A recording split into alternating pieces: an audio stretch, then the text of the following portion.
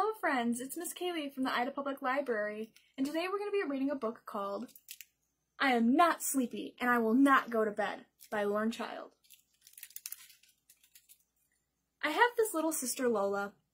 She is small and very funny. Sometimes I have to keep an eye on her, and sometimes Mom and Dad ask me to try and get her off to bed. This is a hard job because Lola likes to stay up late. Do you like to stay up late like Lola? Lola likes to stay up coloring and scribbling and sticking and wriggling and bouncing and most of all, chattering. Usually when I say, Lola, Mom says it's time for bed, she says, No, I am not sleepy and I will not go to bed. I say, But all the birds have gone to sleep. She says, But I am not a bird, Charlie. But you must be slightly sleepy, Lola, I say. Lola says, I'm not slightly sleepy at 6, or 1, or 8, and I'm still wide awake at 9, and not at all tired at 10, 11, 12, and I will probably still be perky at even 13 o'clock in the morning.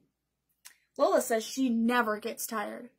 Do you think she really never gets tired, or she just doesn't want to admit it? One night I said, but if there's no bedtime, there can be no bedtime drink and it's strawberry milk. Lola really likes strawberry milk. Are you sure you don't want to go to bed?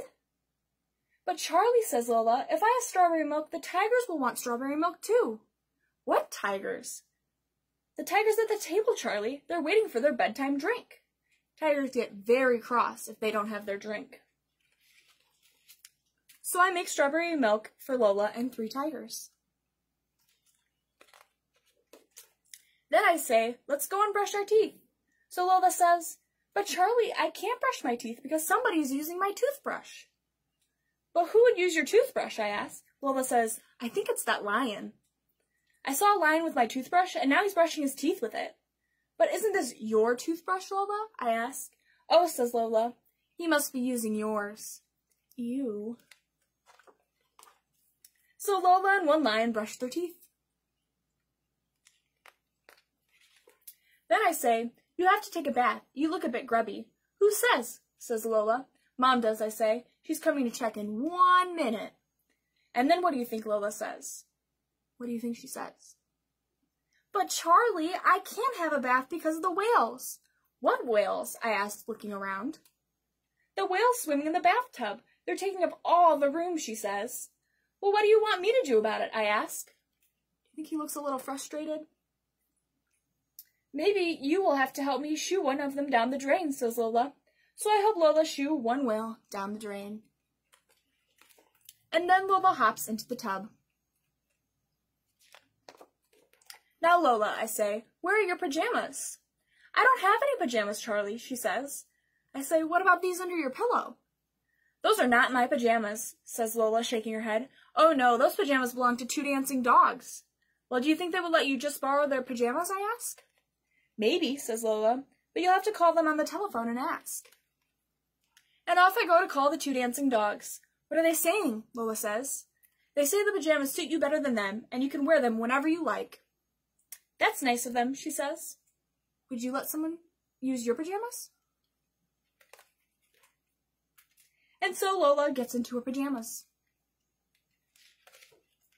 At last, Lola is ready for bed, and I say, Now, Lola, I have given three tigers their strawberry milk, and watched a lion use my toothbrush, and shooed one whale down the drain, and telephoned two dancing dogs about pajamas. Now, will you please hop into bed? Lola says, Yes, Ch yes, Charlie, I'm hopping, I'm hopping. But Charlie, says Lola, Oh, don't tell me, I say. I bet I can guess. There's a huge hippopotamus in your bed. And you know what Lola says? Don't be silly, Charlie. I wouldn't let a hippopotamus into my bed. But I think there's one in yours, says Lola, as she snuggles under her covers. Zzz. Good night, Lola. Now it's your turn to close your eyes and go to sleep. Good night.